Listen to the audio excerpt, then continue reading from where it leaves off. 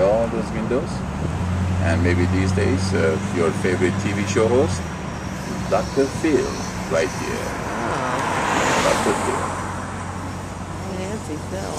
Look at the. That's right. Yeah, Dr. Phil, right there.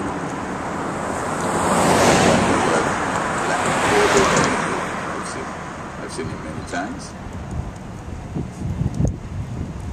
Beautiful place. Lots of greens, you know. Yeah. Whenever I see these greens, um, I feel sorry for that gardener. It's like a nightmare, you know. Keep trimming and trimming. Dr. Phil.